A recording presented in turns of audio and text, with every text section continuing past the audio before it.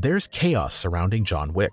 As recently as May, Lionsgate boss Joe Drake stated that work was already in progress on Part 5, but now director Chad Stahelski has spoken out and cast doubts on whether John Wick 5 will in fact be released. In an interview with Empire, the mastermind behind the series talked about the idea of continuing the story of Keanu Reeves' role. He thinks John Wick 4 brought the series full circle and is a very good ending for the series. Many fans think so too, which is why Joe Drake's announcement naturally caused quite a stir. Now the question arises how that coincides. On the one hand, the development of John Wick 5 is confirmed.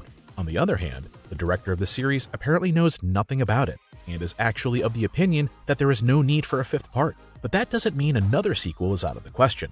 Stahelski adds in the interview that he's excited to give it a try despite everything, just to see if they can pull it off. However, he does not have a concrete idea for it yet. Regardless of whether John Wick 5 ever becomes a reality, fans will get a follow-up either way. On September 22, 2023, the three-part sequel series, The Continental, From the World of John Wick, will be released on Peacock, followed next year by the spin-off film Ballerina starring Ana de Armas, including an appearance by Keanu Reeves.